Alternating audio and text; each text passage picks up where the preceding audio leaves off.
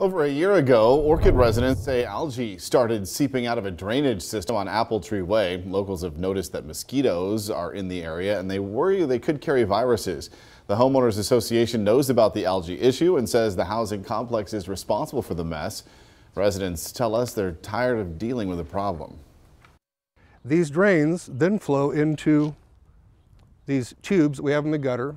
They're PVC collar.